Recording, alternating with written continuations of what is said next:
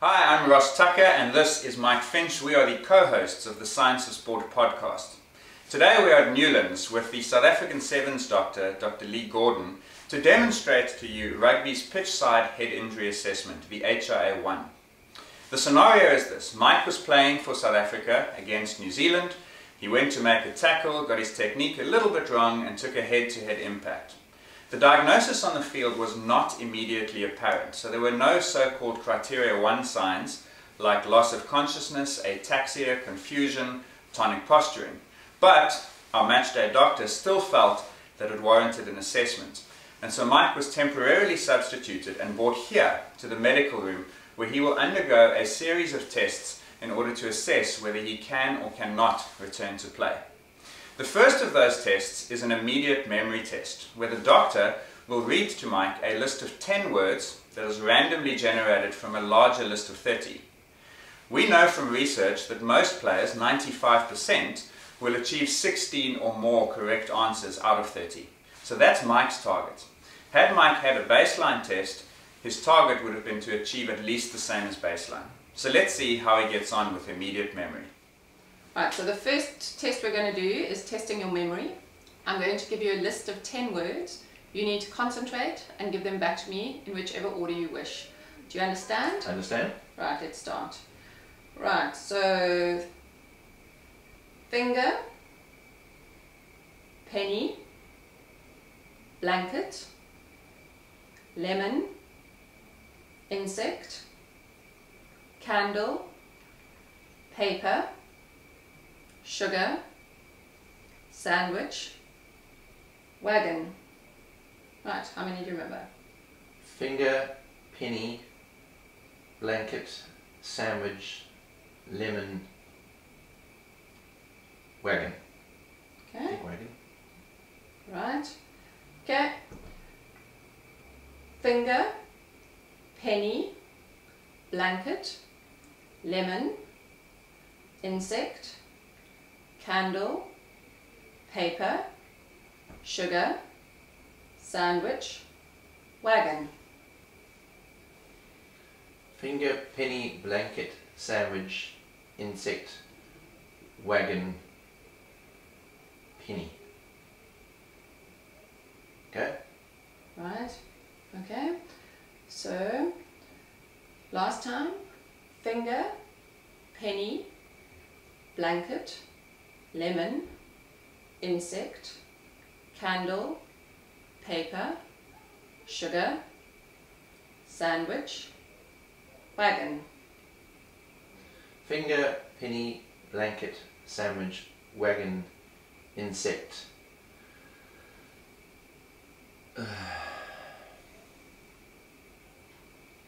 um, okay. Right, you're done? Yep. Well done. So far so good. Mike has achieved the score of 16 or more that he required and immediate memory is done. Next up, Mike will answer what are called the Maddocks questions. These are five questions designed for orientation. They've been tailored for rugby and Mike has to get all five correct. If he answers any one of these incorrectly, he'll be permanently removed from play. Let's see how he goes on these. Right, so our next section is just your where are we today? So which venue are we playing at today? Newlands. Which half is it now? First half. Correct. Who scored last in this match? Uh, we did. Correct. And who did you play in the last game? Australia. Correct. And did your team win the last game? Yes. Well done. Next, Mike will have his cognitive function assessed using a digits backward test. For this test, the player normally would have to achieve at least a score equal to their baseline, or because Mike doesn't have a baseline, he needs two out of a possible four in order to pass the test. Right, so our next test is going to be concentration with digits backwards. I'm going to give you a list of numbers and you forwards and you're going to give them to me backwards. So for example, I would say 7, 1, 9 and you would say 9, 1, 7. Do you understand? I understand. Right, let's go. 4, 9, 3. 394. Correct. 3, 8, 1, 4. 4, 8, 1, 3. three, two, seven, nine.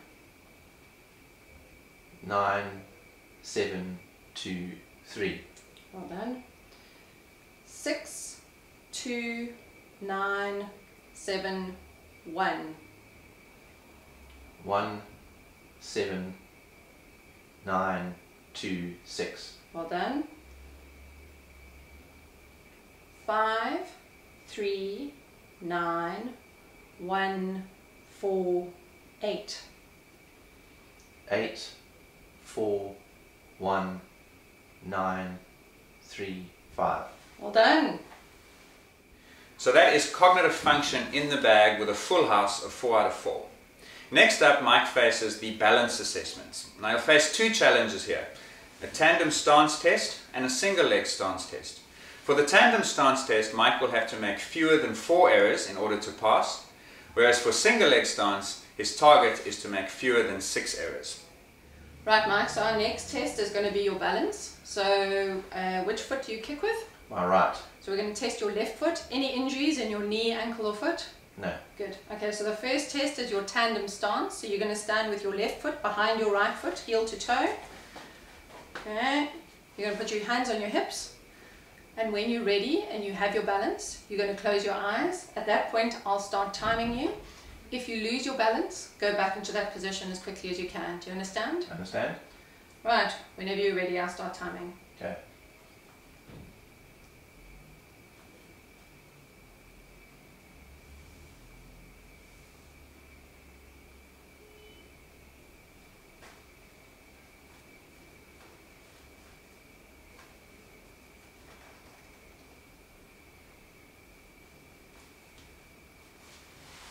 Good, well done.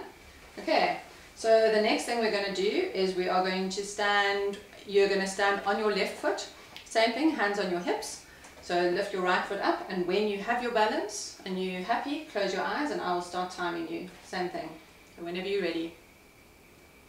Let's go.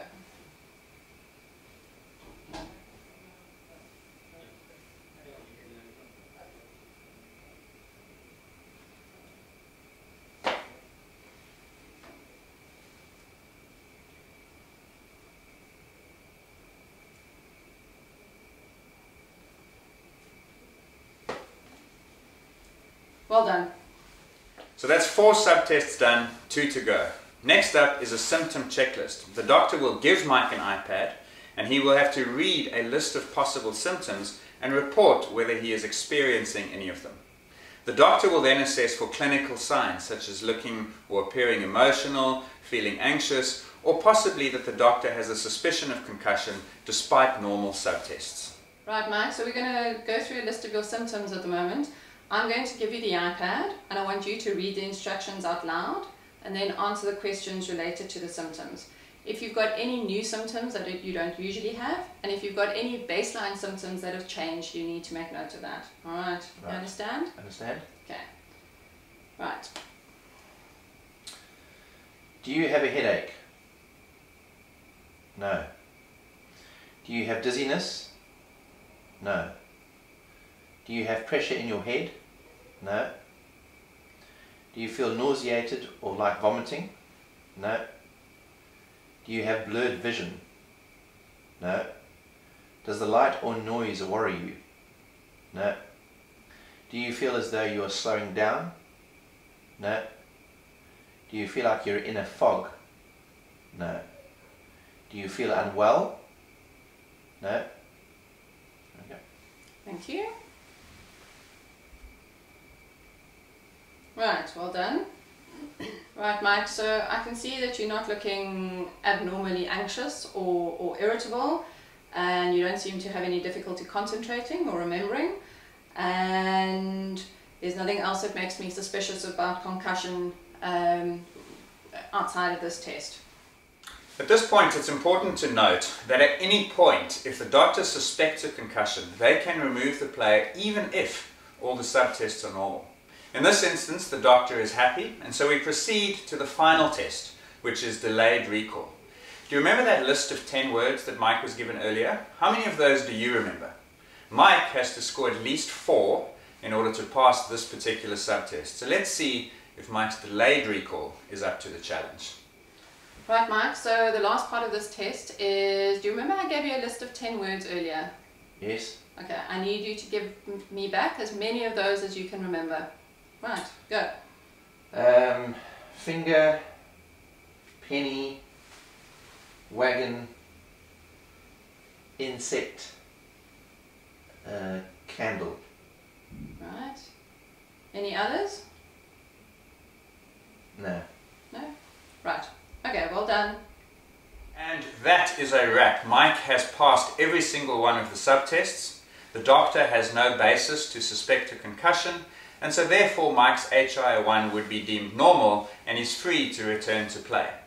It's really important at this point to note that Mike, irrespective of whether he passes or fails this test, will still undergo a second test on the day of the match after it's completed, and a third test 36 to 48 hours later using a more detailed assessment. And it's on the basis of those two results that a concussion is either confirmed or not confirmed.